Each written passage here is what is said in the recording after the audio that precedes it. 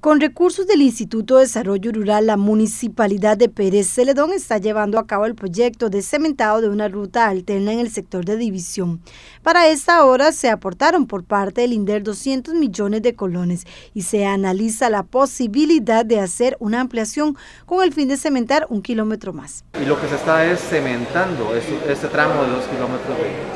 de, este camino, ¿verdad? Porque eh, bueno, yo incluso al principio dije, como que yo no veo tan, tan quebrado esto, ¿verdad? Pero cuando ya fui al sitio y vi la topografía, vi ese camino, definitivamente si no es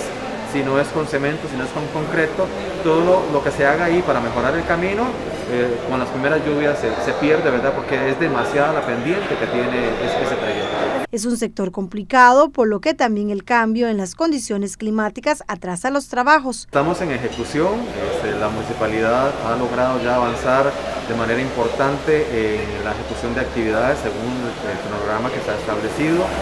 y este, esperamos que ya en las próximas semanas este, podamos estar pensando ya en la, en la conclusión de una primera etapa porque vamos, vamos a darle un poquito continuidad a ese, a ese proyecto de, con la articulación de los recursos tanto del, INDER como de la municipalidad.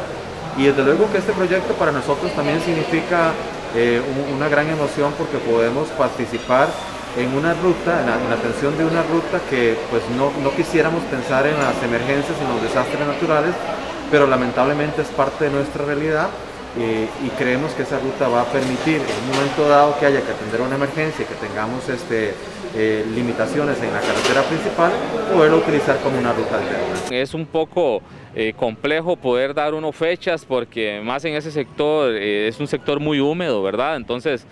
hace que los cronogramas este, se estén modificando constantemente. Inicialmente teníamos pensado que que eh, por lo menos en estos tiempos de, verano ya lleváramos por lo menos un 50% de la ejecución y como le digo vamos apenas en un 25% de, de, ejecución de la obra, entonces eh, no me atrevería a decir una fecha de, de, la finalización de la obra más que se pretende hacer una adenda, ¿verdad? Este, sin embargo, pues vamos haciendo los esfuerzos necesarios para salir lo antes posible con el proyecto. En el municipio consideran muy importante este proyecto debido a la importancia que tiene la ruta, principalmente porque cuando se cierra la principal, la 2, la Interamericana Sur, esa se podría utilizar. Es una ruta alterna, es una ruta muy productiva, pues naturalmente para poder llegar a este proyecto este, hubo que hacer una serie de proyectos o más bien de estudios para para, para, poder contar con la viabilidad de, del mismo. Estamos muy contentos, eh, son caminos con mucha pendiente, caminos que realmente tienen esa necesidad y pues sí,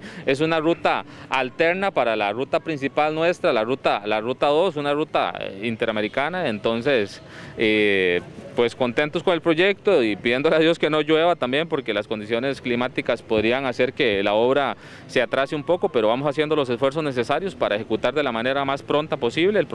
Ese es el primer proyecto de este tipo que se ejecuta con el municipio de aquí por parte del INDER.